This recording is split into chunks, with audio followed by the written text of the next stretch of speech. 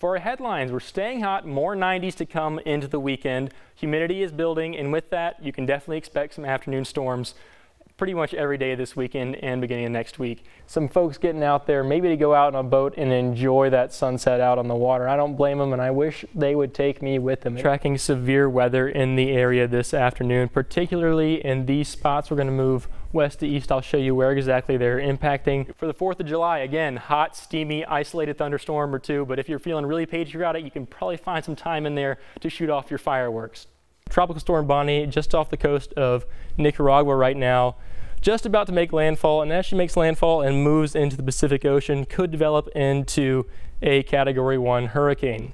But if we move a little bit further east, we start to see where that's going to impact Charleston, Colleton, and Dorchester counties alike. That heat's not stopping. We're chalking up more 90s. We hit 90 degrees today, and I plan to hit 90 degrees as we move into the weekend and beginning of the next week. So definitely be careful when you're getting outside. Have a flood watch in the area until 6 a.m. tomorrow, so avoid those flooded roadways. If you come across one, maybe take a detour if you can. It is going to be hot and it's still going to be humid, so definitely be careful.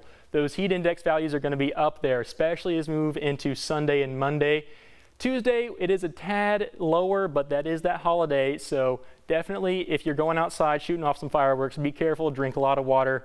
Make sure take breaks inside if you can. All right, it's fairly clear over Edisto Beach right now, and we can see plenty of people out there enjoying the beach, and they're, they're getting at it while they can because we do have some rain in the forecast for this evening. In the middle of July, you would expect us to be up in the 90s, but today we only hit 80 degrees because of how cloudy we were. Last time we were around that was in 1972 at 81, so today a record-setting day as far as our lowest high temperature of the date. If you do come across a flooded roadway, turn around, don't try and pass it. You could rust out your car since it is salt water and you definitely do not want to get stuck in it for harm to yourself. If we look at Futurecast, it really peaks tonight at midnight, and that should move off as we move throughout the day tomorrow. Maybe some lingering showers into the afternoon, but really nothing to worry about as far as that goes. Pretty normal for this time of year.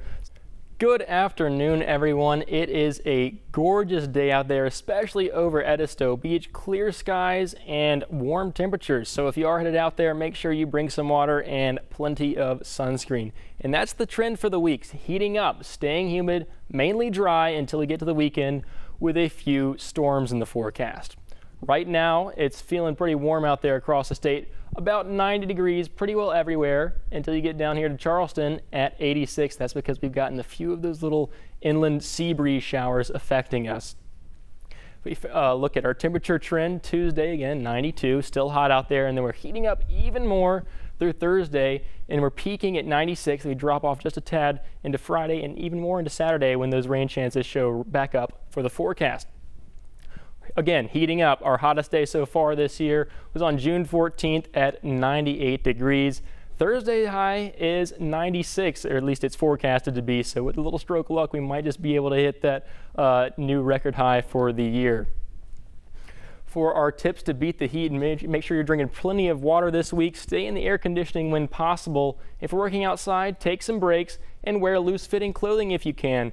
And if you can help it, make sure to wear lighter colors as well to absorb a little bit less warmth than those darker colors. For our travel forecast, if you try to beat the heat anywhere in the southeast, you're going to have some trouble. Chattanooga, Tennessee, 90 degrees all the way up there with some rain chances in the forecast. St. Simon's Island in Georgia, still warm, 91, less rain in the forecast though. And then down south in West Palm Beach, Florida, again, 90 degrees, some rain in the forecast. For our beach forecast here in the low country, if you'd rather stay here like me, uh, we got good news. It's going to be beautiful at 88 degrees out there. Water temperature pretty well perfect at 84.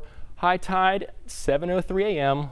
Low 12:59 p.m. High again at 7:28 p.m. And then we do have a moderate risk for rip current. So if you are swimming out there, do get caught in one, swim to the side and then swim in to uh, break the grip of the rip. For our live radar, a few sea breeze showers popping up a little bit further inland nothing else really on the radar to worry about. If we look at Futurecast, again, right now, sea breeze showers, that's really all that we have in the forecast.